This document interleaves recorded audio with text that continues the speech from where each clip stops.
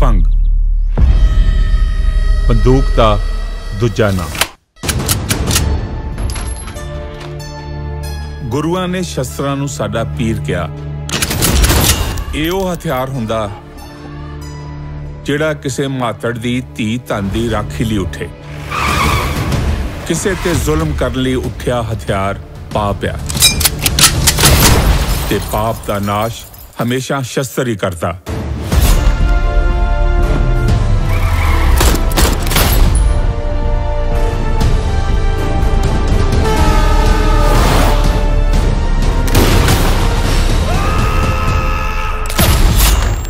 ਮੈਨੂੰ ਲੱਗਦਾ ਆਪਾਂ ਨੂੰ ਇਹ ਗਨ ਹਾਊਸ ਬੰਦ ਕਰ ਦੇਣਾ ਚਾਹੀਦਾ।